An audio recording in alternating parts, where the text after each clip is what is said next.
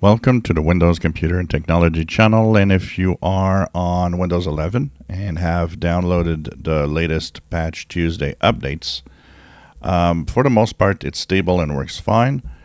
But there's a little subset of users that apparently, while installing the uh, KB 5037771 cumulative update, which is the security update basically for Windows 11, is uh, causing a little bit of issues. One of the first things to note is that people that use a VPN, the fix does not fix everybody's VPN. So apparently, a lot of users are still saying, my VPN is still broken after this update.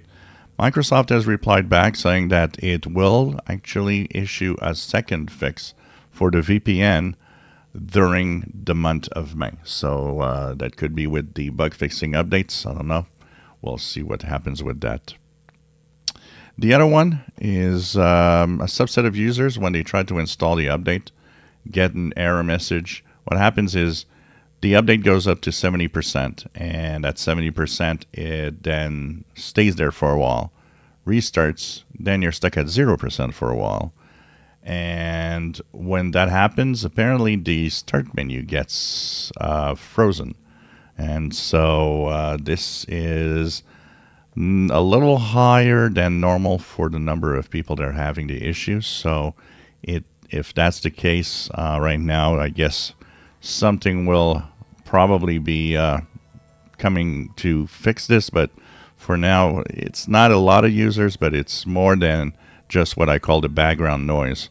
So uh, if you're plagued with this problem, um, we'll be checking out and see if there's any specific solutions for this.